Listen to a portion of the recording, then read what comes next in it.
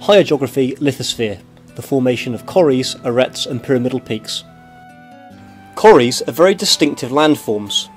Usually, the classic corrie is a large, deep rock hollow cut into the side of the mountainside. They are semicircular with steep back walls.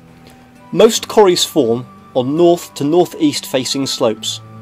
Decreasing temperatures at the start of the Ice Age means that snow collects in hollows high up on the mountainside. Over time, this is gradually squeezed into ice. The accumulation of ice is assisted by spring and summer thawing. Eventually, the weight of the ice causes it to move downhill under the force of gravity. This is helped by melting water underneath the glacier, often referred to as basal sliding.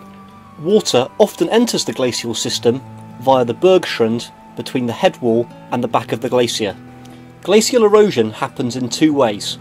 Plucking steepens the back wall of the corrie, while abrasion deepens the hollow.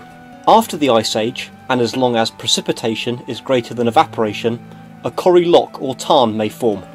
A good example of a corrie is Ben Lui in Scotland. When two corries form back to back, an arête forms.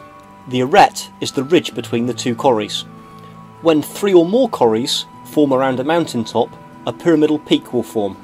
A good example of an arête is Striding Edge in the Lake District. The classic example of a pyramidal peak is the Matterhorn, found on the border between Switzerland and Italy in the European Alps. On an Ordnance Survey map, a corrie has a distinctive horseshoe shape. The contour lines are close together on three out of the four sides. Sometimes the corrie loch may be shown in the middle of the corrie. The formation of a corrie is fundamental in understanding the formation of an arête and of a pyramidal peak.